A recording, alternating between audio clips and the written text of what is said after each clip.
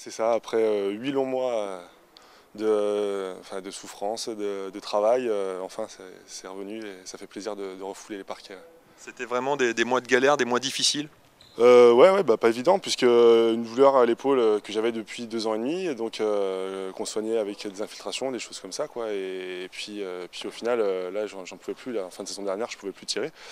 Donc une opération obligée, et après des longs mois de, bah, souffrance, de doute aussi, parce qu'on ne sait pas, sait pas comment on revient d'une opération comme ça. Euh, mais bon, là, euh, je suis sur la bonne voie, donc je suis, content et soulagé.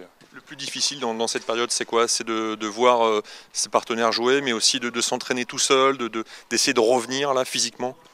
Ouais, tout ça, c'est un petit peu dur. Maintenant, j'ai voulu couper les, deux premiers mois où je suis, je suis retourné aux sources chez mes parents pour, pour éviter d'avoir à subir tout ça parce que c'est pas, pas évident donc d'être sur le bord et de même pouvoir rien faire puisque j'avais même pas le droit de courir, euh, il fallait rester euh, vraiment au repos.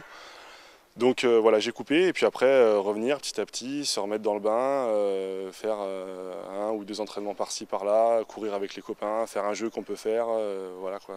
Il a fallu que tu rattrapes le temps perdu quoi quelque part.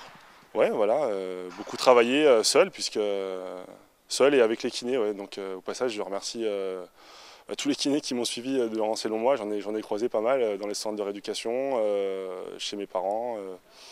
et là, plus récemment, Pierre Lagrange et puis Jean et Jean-François qui nous suivent maintenant, avec qui je fais du bon travail. Aujourd'hui, tu t'estimes à, combien de, ton potentiel, si on pouvait donner là un pourcentage? Je dirais 70% à peu près, ça, va mieux. Quand j'ai repris, j'étais à 30, 40 et là, je, pense être à 70% de ma puissance max au niveau du shoot. Mais euh, voilà, ça permet déjà de marquer des buts, de se faire plaisir, euh, de retrouver de bonnes sensations. Et puis euh, voilà, il y aura encore quelques mois de, boulot, il ne faut, il faut rien lâcher, continuer à, bosser sur cette épaule tous les jours pour, pour revenir à 100%. Puis il va falloir aussi revenir et intégrer un collectif qui est, déjà en place hein, depuis le début de la saison. C'est ça aussi qui ne doit pas être évident Oui, ça ne va pas être évident, d'autant plus que sur mon poste on est trois cette année. Donc, donc voilà, une belle concurrence. Mais mais je suis là, j'ai faim, j'ai envie de montrer et je vais me battre. Donc, euh, euh, voilà, ça va être. Euh, mais aussi un bon, un, bon, un bon truc à faire avec ce groupe. donc, donc voilà, je vais essayer d'apporter ma pierre à l'édifice. Quand tu le disais, il y a un bon coup à jouer. au championnat, vous êtes leader, hein, enfin co-leader du, général. Il y a un bon coup à jouer. Tu sens que cette saison, il y a moyen de faire quelque chose là?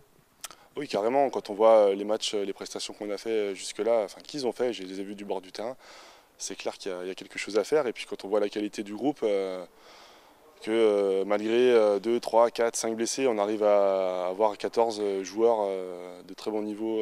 voilà, je pense qu'il y a vraiment quelque chose à faire cette année. tu, te sens un peu comme le, joker? Non, pas vraiment. C'est vrai qu'on me l'a dit. Je l'ai déjà vécu cette situation il y, a, un an ou deux, je ne sais plus vraiment, à revenir après de longs mois de, de blessures. Et euh, non, pas, pas plus que, que ça, non, pas plus qu'un joker.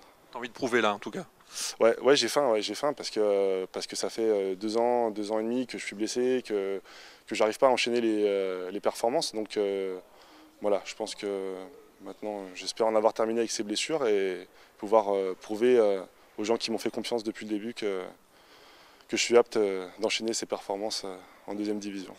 Et pourquoi pas plus haut